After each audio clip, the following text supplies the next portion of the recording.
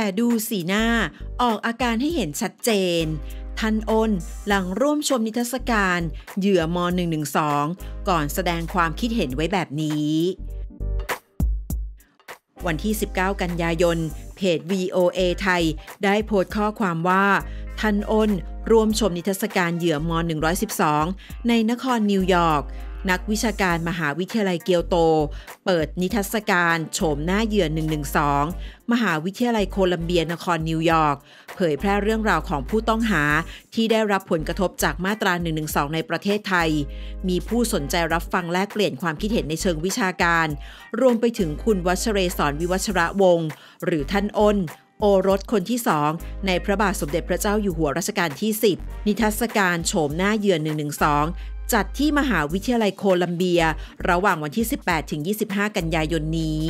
หลังจากที่ได้มีการชมนิทรรศการ ท่านอ้นได้โพสต์ผ่านทาง Facebook ส่วนตัว โดยระบุว่า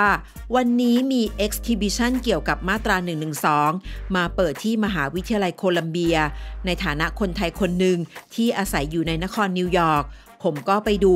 ผมรักและเทิดทูนสถาบัน แต่เชื่อว่ารู้ดีกว่าไม่รู้ แต่ละคนก็มีความคิดเห็นของตัวเองที่มาจากประสบการณ์ของเขา ถ้าเผื่อเราไม่รับฟังความคิดเห็นของเขา ก็ไม่ได้ทำให้มุมมองและความคิดเห็นของเขาเปลี่ยนไป เพราะฉะนั้น รู้และรับฟังไว้ก็ดี รับรู้เหตุผลและมุมมองของหลายฝ่าย เห็นด้วยหรือไม่เห็นด้วย ก็อีกเรื่องหนึ่งคุยกันด้วยเหตุผลในขณะที่สำนักข่าว VOA ไทย ได้เผยแพร่ภาพพร้อมถอดคำพูดของท่านอ้น ที่ระบุว่าผมมาร่วมนิทรรศการโฉมหน้าเยือน112 เพราะว่าตามความคิดเห็นส่วนตัวก็คือ รู้ดีกว่าไม่รู้ แต่ละคนก็มีความคิดเห็น และมีมุมมองที่ไม่เหมือนกัน ซึ่งมาจากประสบการณ์ของตัวเอง ไม่ว่าใครจะมีความคิดเห็นอย่างไร เราจะฟังหรือไม่ฟัง เขาก็มีความคิดนั้นอยู่ดี การที่เราไม่ฟังเขาก็ไม่ได้ทำให้ความคิดเห็นของเขาหายไป เพราะฉะนั้นรู้ไว้ดีกว่าที่จะไม่รู้ จะเชื่อหรือว่าจะเห็นด้วยไม่เห็นด้วย ก็เรื่องส่วนตัว มาฟังไว้รับรู้เป็นสิ่งที่ดีที่สุด เรื่องมาตรา1นึ